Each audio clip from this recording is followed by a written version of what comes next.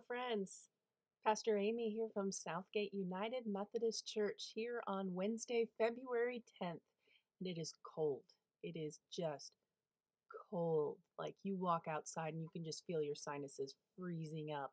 It is cold. I, I don't like this cold. This is not this is not okay. But we will survive. I hope. I hope I survive this cold. This is really, really cold. I mentioned I don't like this cold but it's like uh, the, the weather predicting for Sunday is the high. The high is a negative one degree. That's the high for Sunday. Yeah, something to look forward to, hey? But anyway, you know, we try and, and look at the positive, and I have something really positive to share with you today.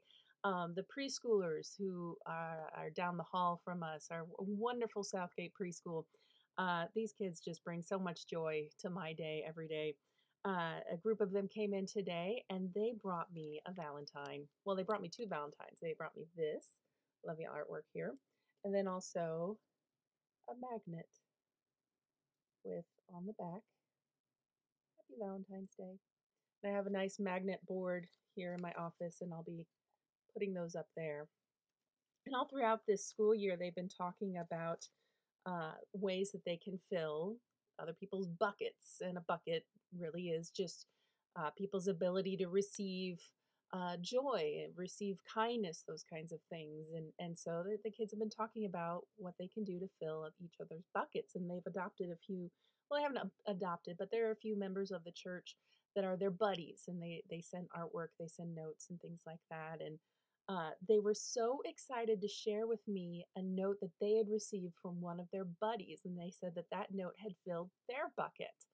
Uh, and they were really excited uh, to receive that. So, um, so I'm curious. You know, I love hearing from you all. Um, how has uh, how has your bucket been filled lately?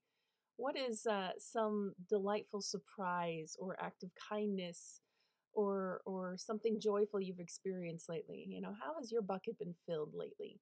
Or what have you done to fill somebody else's bucket? What's something you know brag on yourself you know what have you done to um, bring joy or delight to somebody else lately?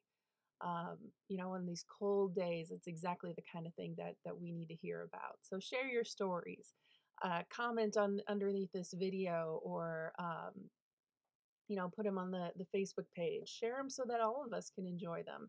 Uh, we want to hear your stories, how you're filling each other's buckets. Um, this Sunday is Transfiguration Sunday. Um, we talk about Jesus on the mountaintop and going through a strange transformation, and um, the disciples struggling to understand what that means.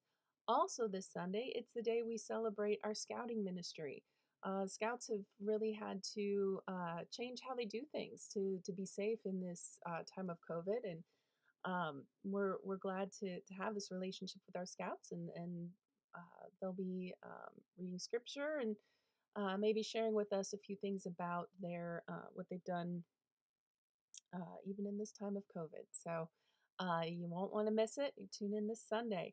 Um, our local COVID dial uh, continues to trend the right direction. So nice job, everyone. We are in the yellow. Can you believe it? Oh, so nice.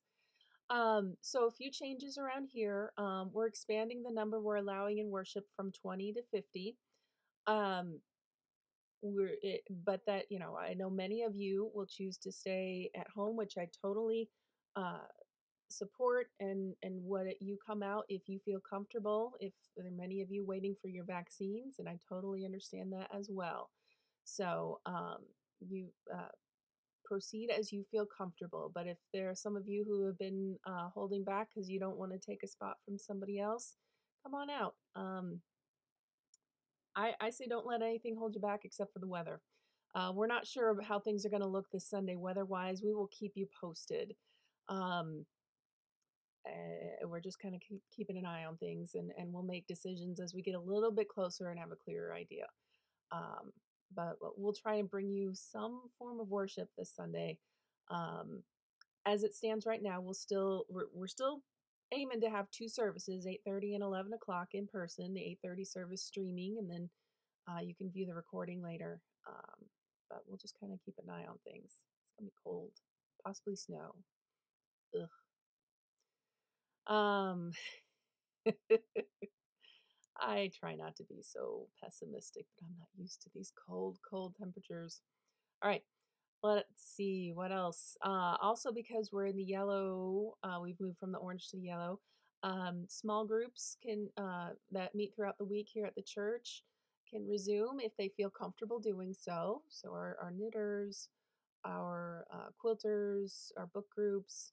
Um, if if you feel comfortable meeting, so long as you wear masks, you, you keep distance, those kinds of things, um, you can uh, resume your meetings. I know that uh, choir groups, the bells and the, and the choirs are going to um, have some short rehearsals coming up here pretty soon. So um, you proceed as you feel comfortable.